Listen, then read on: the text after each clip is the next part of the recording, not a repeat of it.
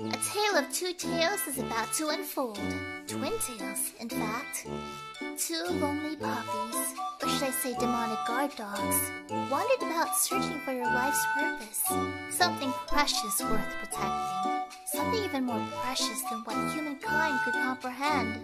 They continued to roam and search, but became restless. Their beastly instincts called for playtime.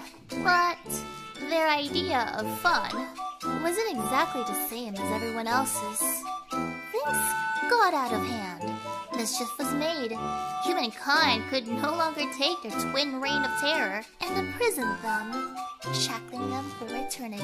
There would be no more howling, no more walks, and worst of all, nothing for them to protect. But instead, they now had all the time in the world for the anime and games they borrowed from the prison guards. Is it really a punishment if you're still having fun?